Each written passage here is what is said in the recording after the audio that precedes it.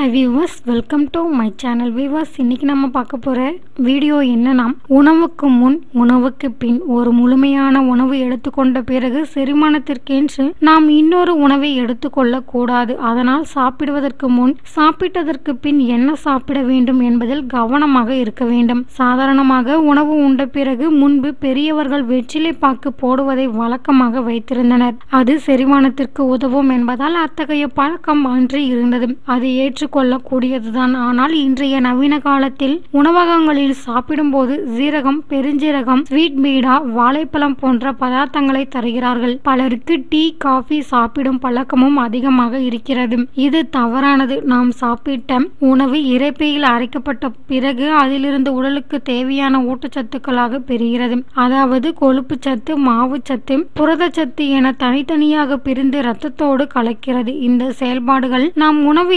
எடுத்துக்கொள்வதற்கான முக்கிய காரணம். ஆனால் நாம் அன்றாட உணவு நல்ல விதமாக ஜீரணமாக வேண்டும். அதனால் செரிமானம் தடைபடாத வண்ணமும் உண்ட உணவின் சத்துக்களை உடலில் முழுமையாக கிரகித்து கொள்ளும் விதத்தை கேற்றவாறும் கவனமாக இருக்க வேண்டும். ஒரு முழுமையான உணவு எடுத்துக்கொண்ட பிறகு செரிமானத்திற்கென்று நாம் இன்னொரு உணவை எடுத்துக்கொள்ளவே கூடாது. உதாரணத்திற்கு வயிறு நிறைய பிரியாணி சாப்பிட்ட பிறகு குளிர்பானங்களை குடிக்கிறார்கள். இந்த பழக்கங்கள் ஏற்கனவே உண்ட உணவை செரிப்பதற்கு சிக்கலை ஏற்படுத்தும். பிறகு என்ன சாப்பிட வேண்டும்? அதனால் தான் சாப்பிடுவதற்கு முன் என்ன சாப்பிட வேண்டும் என்பதில் கவனமாக இருக்க வேண்டும். உணவு வேளையில் முப்பது நிமிடத்திற்கு முன் பழங்களை சாப்பிடலாம். வாழைப்பழம் ஆப்பிள் கொய்யா திராட்சை போன்ற சதைப்பற்று சாறு நிறைந்த பழங்களை எடுத்துக்கொள்வது நல்லது. இது அதிகபட்சம் முப்பது நிமிடங்களில் செரிமானம் அடைந்து நல்ல பசியை கொடுக்கும். ஜீரணத்திற்கு உதவியாக இருக்கும். அதே வேளையில் உணவுக்கு பிறகு பழங்கள் எடுத்துக்கொள்வதை தவிர்க்க வேண்டும். அது செரிமானத்திற்கு சிக்கலை உண்டாக்கும். மேலும் அந்த பழக்கங்களில் உள்ள சத்துக்களும் வீணாகும். உணவை செரிப்பதற்கு நம்முடைய இறைப்பிற்கு உதவும் வகையில்